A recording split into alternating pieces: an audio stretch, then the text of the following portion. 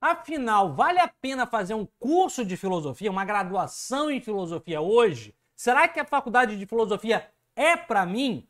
Enfim, eu sou Felício Molinari, doutor em filosofia, e esse é o A Filosofia Explica de hoje. Bom, essa pergunta eu recebi de um grande amigo meu lá no meu Instagram. Inclusive, vou deixar até aqui o meu link no meu Instagram, caso você tenha alguma dúvida filosófica, você pode mandar lá no meu Instagram. A gente demora um pouquinho a responder, mas responde. Esse amigo meu é o Horácio. O Horácio, que é esse Horácio Ferreira, que é professor, uh, formado em Direito, professor de várias faculdades particulares, uh, se apaixonou por filosofia, está dando aula de teoria do, do Estado, enfim, e me mandou essa pergunta. Ela falou, Felício, pô, tô tendo um contato mais direto, dando aulas, uh, e queria me aprofundar na, na área da filosofia. Será que vale a pena? Será que o curso de filosofia é para mim?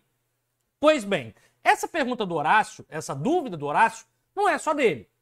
Todo dia aqui no canal tem alguém que me, per me pergunta, que me questiona a respeito se vale ou não fazer filosofia.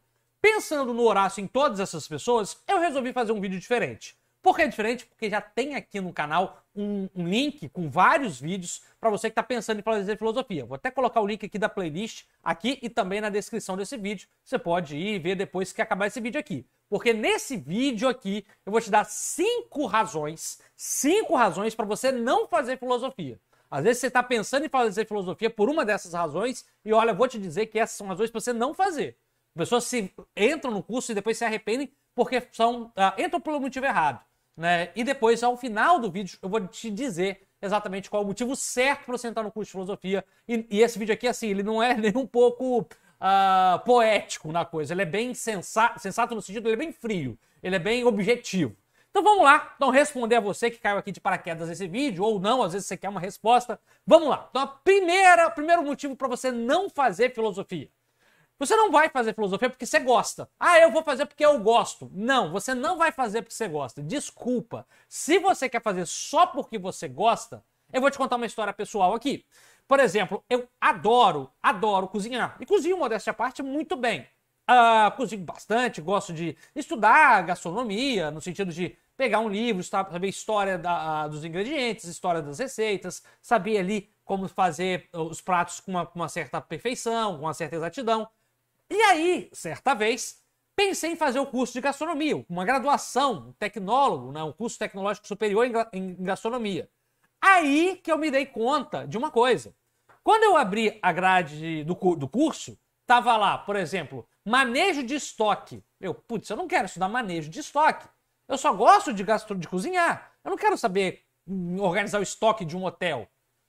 Outra que estava lá, a compra e venda de mercadorias. Falei, mas eu não preciso fazer uma disciplina para isso, isso não me interessa tanto. Compre, venda e armazenamento. Mas aí eu me liguei. Aí eu me liguei numa coisa. Não basta você gostar. Um curso de graduação, ele não é feito porque você gosta. Ele é feito para você trabalhar na área. Trabalhar. Então, olha, todo o curso aqui de gastronomia, ele foi feito para você trabalhar na área de gastronomia. O fato de eu gostar de gastronomia não é um simples fato para eu entrar numa graduação, porque eu estudaria outras coisas. Então, no meu caso, seria muito melhor, por exemplo, eu continuar estudando ali no YouTube ou fazer cursos uh, pontuais, às vezes por fora, um curso de doce, um curso de pão artesanal. Agora, uma graduação em gastronomia, sendo que eu não quero trabalhar com isso, uh, não vem ao caso. Não quero trabalhar como, como enfim, chefe de restaurante. Não, eu gosto de cozinhar em casa para mim. Então não faz nenhum sentido eu fazer isso porque eu gosto. Eu gosto. Não, gostar aqui é muito pouco. Muito pouco. O segundo motivo, o segundo motivo uh, que eu já indico para você, você não fazer, se, for, se você está pensando nisso, é: ah, eu quero fazer filosofia porque eu quero me aprofundar nos estudos. Aqui está outro erro. Olha, um monte de gente, sobretudo quando é segunda graduação, como é o caso do Horácio, fala: ah, vou fazer graduação em filosofia para me aprofundar nos estudos. Meu amigo, se você já tem uma graduação, ou se você, enfim, só quer se aprofundar nos estudos de filosofia, a gente tem vários canais aqui no YouTube, vários cursos aqui também na, na internet. A Casa do Saber, tem uh, o, o, canal do Matheus Salvador, tem o Isso Não É Filosofia. Tem, enfim, tem vários. Tem o canal aqui, a Filosofia Explica. Tem o curso aqui do canal que vai sair daqui a pouco. Uh, tem o nosso clube de leitura aqui da Filosofia Explica. Enfim, a internet é um mundo cheio para você se aprofundar. Para você se aprofundar. Você vai entrar num curso para se aprofundar em leitura, né, aprofundar no estudo, mas você tem que lembrar que um curso de graduação você vai estudar um monte de coisa e muitas vezes coisas que você não quer estudar. Então essa é ideia, ah, vou fazer um curso de graduação porque eu quero me aprofundar nos estudos. Olha, isso é um erro catastrófico. Pegar aqui o caso do Horácio. Ele não vai ficar bravo comigo, não. Ah, Horácio, por exemplo, falou que ele estava dando teoria do Estado e estava apaixonado por filosofia política. E ele falou: Ah, Felipe, você podia me indicar a faculdade? Aí eu falei: Horácio, ah, vamos conversar depois. Por quê? Porque se ele quer se aprofundar em filosofia política, ele não tem nenhum interesse, por exemplo, com teoria do conhecimento, ou por filosofia da arte, ou em lecionar filosofia, não faz nenhum sentido ele fazer a graduação. É muito mais interessante ele procurar uma especialização em filosofia, mesmo que seja uma especialização em filosofia política online, sabe? Um curso de filosofia política online.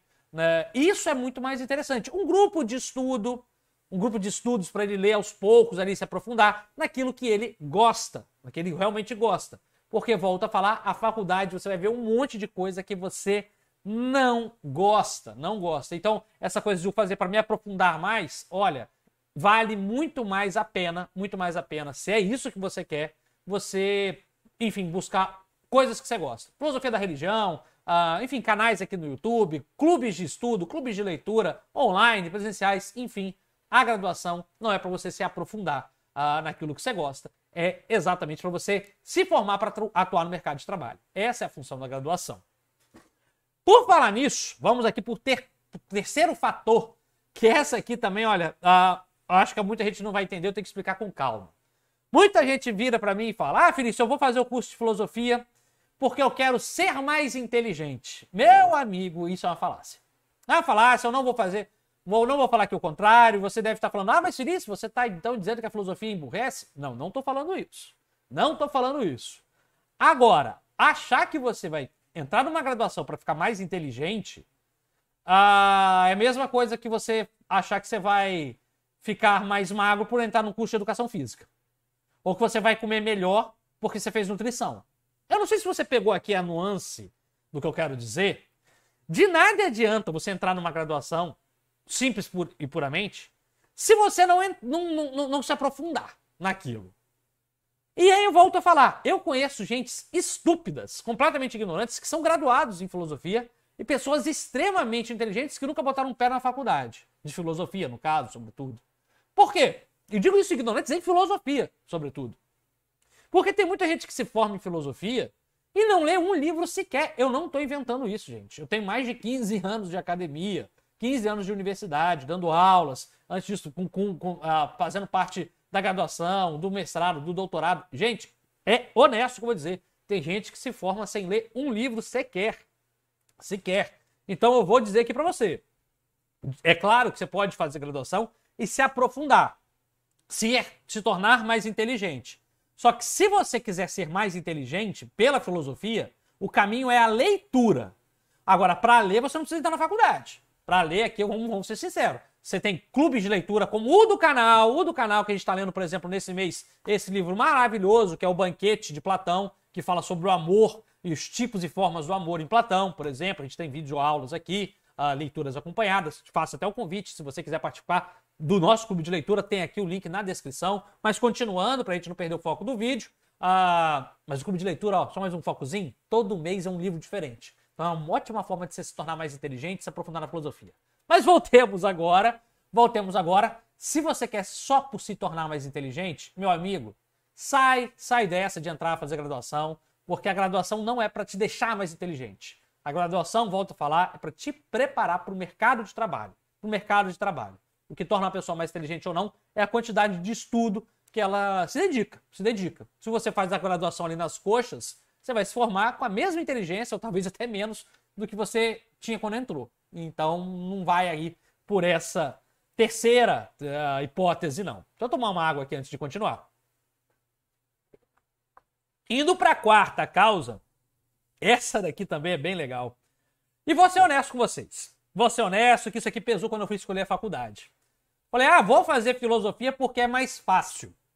Ou vou fazer filosofia porque é fácil uh, de entrar, né, porque o coeficiente é mais baixo, que eu vou entrar mais fácil. Meu amigo, entrar na filosofia, porque a filosofia é fácil, é um erro, é um erro. Ah, vou entrar na filosofia, porque era a ideia que eu tinha, porque as discussões de filosofia são legais, meu professor de ensino médio é mó bacana, as discussões são mó, mó quentes. Vou te falar uma coisa, porque vai aqui assim, você vai ficar chateado comigo. Filosofia não é legal. Filosofia, esse, essa ideia de legal que você tem, de discussões acaloradas, isso não acontece na universidade.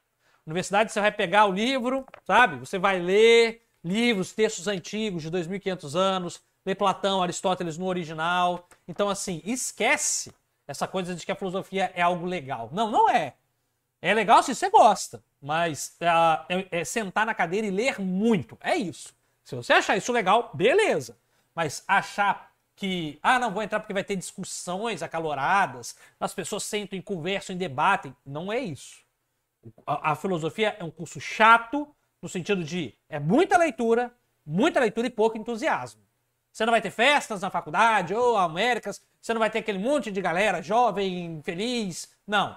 É um monte de gente lendo e lendo muito, muito. Páginas e mais páginas, calhamaços e mais calhamaços de, de textos difíceis. Difíceis que muitas vezes você vai ter até duro se você for alfabetizado. Nossa, quantas vezes eu não, não saí de uma primeira parágrafo. Heidegger, por exemplo. Pegava o texto do Heidegger, não conseguia passar da primeira página. Falava, meu Deus, eu fui alfabetizado. Enfim, se você está achando que, ah, vou porque é fácil, hum, meu amigo, vai fazer outro curso, porque olha, o trem é difícil. É difícil mesmo. Os textos, os textos são duros, pesados, e não tem essa de, ah, fala, vou falar o que eu penso. Por fim, rapidamente aqui, uh, ah, para não escapulir muito, uh, deixa eu dar aqui uma, uma última menção honrosa. Tem gente que quer fazer filosofia para melhorar a renda ou para arrumar um emprego. Meu amigo, meu amigo, aqui você erra muito, erra muito. Primeiro porque não, não se faz filosofia para melhorar a renda, porque educação não é bico, não é bico para você fazer para melhorar a renda. Se você quiser melhorar a renda, é muito mais fácil e mais rápido, inclusive, você fazer outras coisas. Não sei, uh, brigadeiro de colher, uh, enfim, uh, vender água de coco. Agora, fazer uma graduação para aumentar a renda, educação não é renda, porque educação não é bico, né? Não é nessa renda extra. E segundo, para arrumar um emprego, claro, você pode fazer filosofia para arrumar um emprego, mas se é só para arrumar um emprego, Olha, vou te ser honesto, normalmente você consegue empregos melhores e de forma mais fácil em várias outras áreas. Se você quer fazer uma faculdade visando um emprego, filosofia é de longe uma das que eu não indico. Porque são poucos concursos, poucas vagas e muitos candidatos. Então, vá pesquisar outras áreas, porque as vagas para filosofia não são enormes, enormes assim. Tá, Felício? Dito isso, qual é o motivo então que eu tenho que fazer uma graduação em filosofia? Resumindo, antes de falar o que você tem que fazer, tem que saber para entrar na filosofia. Primeiro, você não tem que fazer porque você gosta, porque isso é muito pouco. Eu gosto de gastronomia, nem, nem por isso. Gosto de cozinhar, nem por isso vou fazer gastronomia. Eu gosto de viajar, nem por isso você vou fazer turismo. Uh, porque eu não quero ser guia turístico, eu não quero ser chefe de cozinha, eu quero cozinhar em casa. Então você, não vai fazer porque você gosta, simplesmente. Segundo, como a gente falou, ah, eu vou fazer para me aprofundar nos estudos. Cara, se é só se aprofundar nos estudos, faz um curso específico daquilo que você gosta. Porque na faculdade você vai estudar um montão de coisa que você não gosta também. Então, se aprofundar não é bem o caso. Terceiro, ah, para ser mais inteligente. Se você quer ser mais inteligente, você vai ler. Faculdade é para quem quer trabalhar, não é para quem quer ler mais, ser mais inteligente. Para isso você tem clubes de leitura, clubes de estudo, tanto na internet quanto no presencial. Ah, porque é legal. Não, o curso não é legal. O curso é pesadíssimo, é cansativo. Então, Esquece essa coisa da muitos que tem na visão do ensino médio, de debates legais. Não, não é.